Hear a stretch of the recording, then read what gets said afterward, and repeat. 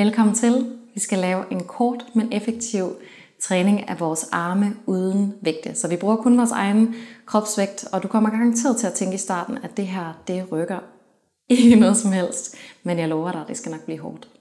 Hvis du øh, har lyst til at være med, så start lige med at øh, sidde her og bare lige lukke dine øjne et øjeblik.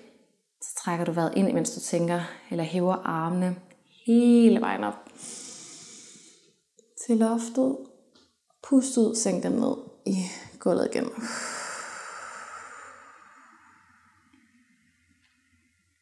Træk vejret ind, vi gør det sammen igen. Og giv helt slip. Så blink dine øjne åbne, og så skal vi lige så stille til at i gang her.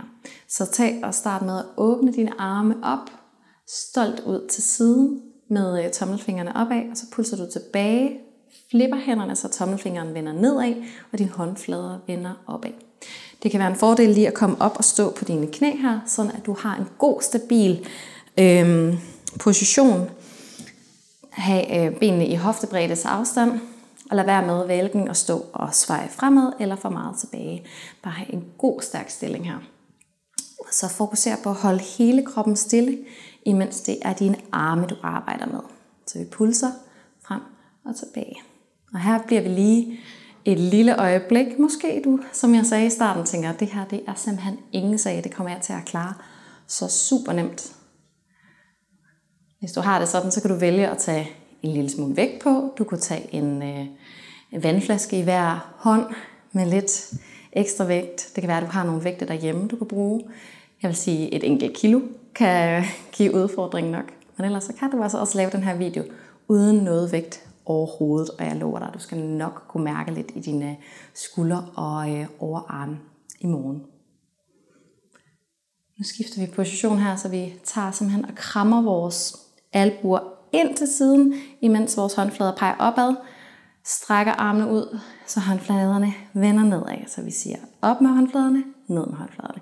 Og prøv virkelig at fokusere på at sådan squeeze ind i taljen med armene her.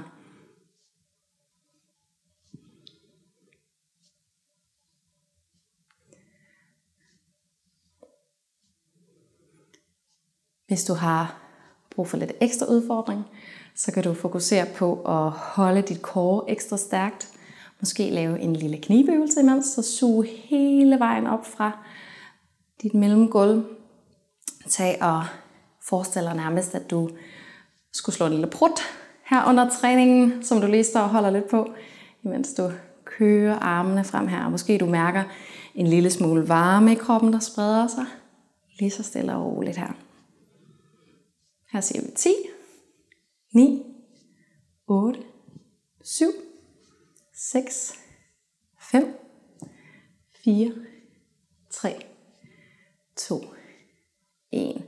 Så placerer du armene skråt tilbage her ned til hver side med håndfladerne bag mod ryggen. Og så skubber du, nærmest som du skulle skubbe mod øh, bagvæggen her. Så prøv i stedet for at forestille dig, at du skal skubbe op, så skal du sådan skubbe mod bagvæggen. Så du vil gerne skubbe tilbage, men du må ikke flytte din overkrop. Måske du kan mærke lidt i den øverste del af ryggen her. Prøv at forestille dig, at du kan bruge musklerne der til lige at nå lidt ekstra tilbage. Måske dine håndflader begynder at ryste en lille smule nu. Her siger vi 10, 9, og du skubber bare. 7, 6, 5, 4, 3, 2 og en rigtig flot. Tag lige en af dem, vi lavede fra start af, så træk vejret ind helt op med armene. Og giv slip. Måske armene allerede føles en lille smule tungere nu. Tag og kom om, sid på øh, din bagdel her. Så laver vi lige nogle øh, små løft her, hvor at øh, dine albuer kører tilbage, men du løfter numsen, så du får en lille smule mere vægt på her. Skal numsen lige ned og røre. Og det er en meget, meget simpel, men super effektiv måde lige at ramme de der arme, bagsiden, den der lille vinkearm.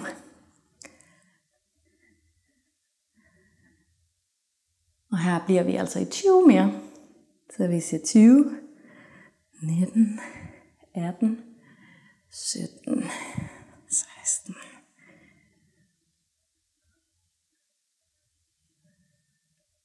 Og 11, 10, du kan godt klare det. 7, 6, 5, 4, 3, 2 og 1. Så sejt. Kom så om på alle fire her. Her skal vi lave nogle øh, små pilates push-ups, så vi tager lige og skubber vores bagdel, vores hofter ned, så vi står i en super stærk øh, plankeposition her. Her kommer vi til at køre med albuerne ind langs siden og brystet helt ned. Skub op og tilbage. Rul frem, ned, skub op, tilbage, rul frem, ned, skub op, tilbage, rul frem, skub ned,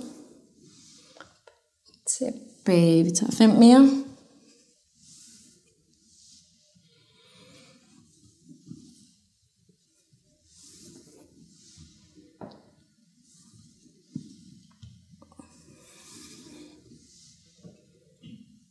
Hvad er de sidste to?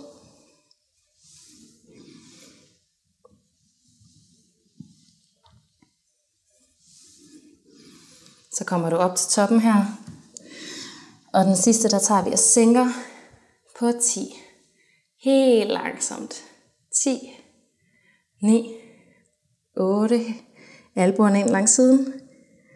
6, 5, 4, 3, 2, 1. Ikke vi slip hold i 3, 2, 1. Skub langsomt op.